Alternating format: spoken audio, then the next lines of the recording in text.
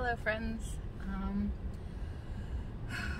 I'll try to start off lighthearted, but I feel like uh, the topics I'm a little bit preoccupied with right now are a little depressing. So, I guess content warning. I'm in a depressed mood. Um, so, funny story. I am wearing this black dress. It's one of my clothing rentals. Um, this is the second time I've worn it this week. Today's Wednesday. And you see, with my new schedule, I work at one office Monday and Tuesday, and another office Wednesday and Thursday. And so I was totally going to cheat and wear the same outfit Monday, Tuesday, again on Wednesday, Thursday. And as I'm driving to work, and I have already wore this dress this week, um, I get a text from my boss that was like, hey, you have to report into our office today. We had a call out and we need you. So I'm just kind of laughing because I am wearing the same dress I wore on Monday. Um, but with the um, extra note of I put leggings on today where I was bare legged on Monday and I put a different hoodie on top of it instead of the jacket I wore on Monday. So I was like, other than them noticing I wore a black two black dresses this week, I don't think they'll notice it's the same dress. But the whole day I giggled because I was like, I got caught. And tomorrow, the real question is, am I going to risk it and wear that dress that I wore on Tuesday again on Thursday? Or am I, I think I'm going to bring a spare, like, sweat, like a shirt and, like, tights or something because that dress is a little bit easier to identify and I don't want to be caught in the same dress twice. And then the bigger question is on Friday, when I report into the uh, potentially other office. Will I try to wear this damn dress again or will I just shove it in the mail back on Thursday? But anyway, that made me laugh. So that's my lighthearted start to this uh, vlog. Also, my nails are very Lisa Frank right now, which does make me very happy. Um, I'm using one that's like Jaguar themed, and then there's like pink and blue glitter everywhere. It makes me happy. So at least my nails make me happy. Um, if you're thinking, my God, that woman looks very tired, it's because I am. Um, and yesterday afternoon, the pack and play that my mother ordered for our infant arrived. And last night, Oliver was sleeping so terribly. I literally was like, I wish we had made the pack and play so that I could put him inside of it and also lay inside of it and like let him crawl all over my dead body because I was so exhausted last night. I just just wanted to go to sleep and he was so awake. And it's not like he's fussing. He doesn't need my comfort. He's just awake. And it you want to be frustrated, but he's so fucking cute cuz like you look at him and he's all he's all smiley. He just wants to be cuddled and I don't know. I th I think he was having a hard time sleeping cuz for one, it got cold again. It's like in the 40s right now. And um, my mom turned the A it's not AC, but it's like a fan that blows cool air. She turned that on him. And I would have been cold if I was a baby, but I don't know. We have such completely different temperatures. Like my mom thought the cool air on him would be nice, where I thought it was cold. And then I'm pretty cold blooded. I don't know. Anyway, doesn't matter. I'm just exhausted. But anyway, so the thing that's been on my mind all day today is sickness and death and I know that that's jolly. Um, but part of the reason I'm doing these videos is because of the slight fear that my child won't get to know who I am as a person. And that's because my own father got diagnosed with pancreatic cancer when I was eight years old and he died when I was 12. So I have this like sadness that I carry with me where I'm always thinking about how I wish I had more videos of him. I wish I had like just more memorabilia of him. And so I started doing the 5 and 35 videos when I turned 35 and I was pregnant because I, I wanted to leave behind these like media bites where if something was to happen to me, Oliver could go back and know who I was as a person. Even if it's a person who cusses about him, because clearly I love him to death, but I also will, I think, fondly call him a little fucker when he keeps me up all night and I'm exhausted. So, no, it's one of those like, I want him to know me for the flawed person that I am. And if this legacy of leaving little YouTube videos helps get him that insight if for some reason something happens to me, I'm I'm happier to leave it and it not ever be used than to not have taken the time and for him not to have a fuller picture of who his mother is. So it's a little depressing, but um, there's been a couple things that have happened in this past year that have really like weighed heavily on me, I guess.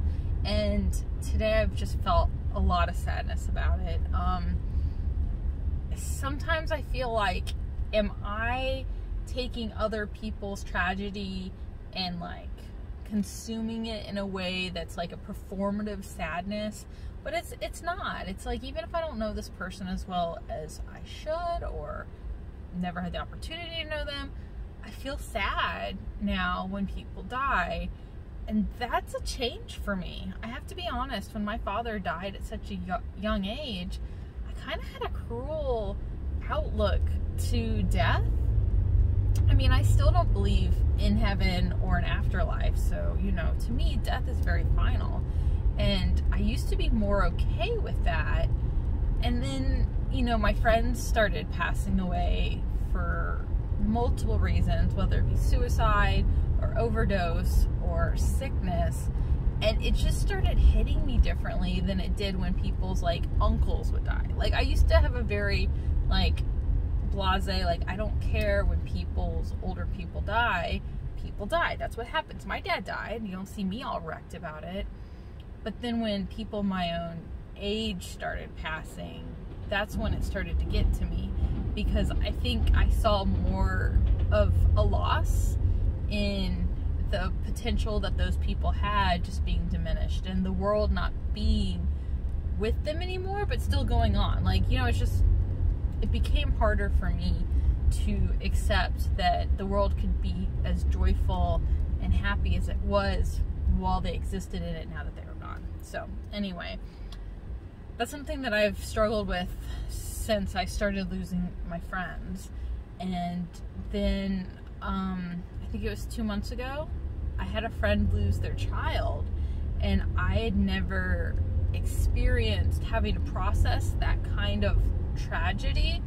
I mean, I'd had friends who had had miscarriages, and I had one friend who'd had a child born with a very, you know, serious birth defect, and the child passed quickly.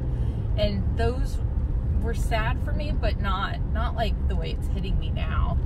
And so when my friend lost her teenager two months ago, I, I it's it'll punch the air out of me to think about. And it's not that I knew him, but I know her and I understand her loss. But now with the con extra piece of having my own child and trying to even like touch the surface of that kind of pain. I just can't. And it's hard for me to know how to support her um, and her family because I don't believe anything I say can take the edge off of that loss.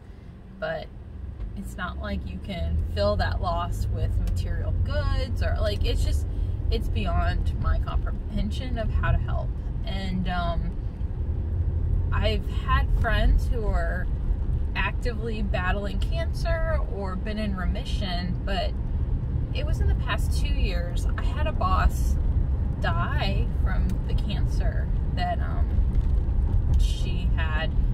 And it happened so fast. And it was one of those, like, I saw a message on Facebook about her passing before I saw the announcement that she had passed. And so then I had to backtrack and go, what did I miss? How did I miss this? And it's just that it happened so fast. And so I mean, my father died of cancer, and I understand how cruel that is, but I never lost, like I said, somebody my age. And um, today I found out the news that somebody I know who's my of my age um, got news that their cancer had become terminal. And so I'm just filled with so much sadness. And again, like my friend losing her child, I don't I don't know the words you use. To, like, what do you say? I mean, and so I've been grappling with that all day, not in the context of trying to find the right words for her her family, but more of it, it just reminds me of how frail, in short, our lives are. And in the context of my own husband being a smoker, you know, or, you know, one day I'll have to cope with losing my mom. Like, I'm just, I'm, I'm not in a place where I'm ready for sorting those kind of emotions. Um, and then to sprinkle on top of all of that melancholy, um, another child who is like a couple days younger than Oliver. Um, that baby has been in the hospital, and oh, I'm gonna sneeze on you. Sorry, but you know, seeing a child the same age as my own baby be so sick really is scary because then it puts into the whole frame of like it could happen to anyone's baby like the illness they picked up is very common and you know people with children young children are told don't let strangers hug and kiss your babies because this could happen. But to see it actually play out it's scary. And we're still in a pandemic. I was talking with one of my besties about her three-year-old and she was saying yeah we're hoping that the pfizer vaccine will be approved for two and up so that we can get him vaccinated and you know then we'll be able to start going out to the world. And so then it kind of makes me feel a little like oh no are we being careless with our own child by wanting to go out into the world? You know we've got this trip planned for uh, in September. And like my mom just bought a family pass to the zoo and I'm really excited to take Oliver to the aquarium because he likes looking at fish. And you know, am I introducing my baby into an unsafe world because the pandemic still exists and he is not vaccinated? But he might be getting the benefits of the vaccine from my breast milk. And I just wish there was more science so that I could feel safer knowing that. But anyway, so I don't know. I I don't know how to end this video in the same way that I don't know what to say to people, but I just feel very sad today.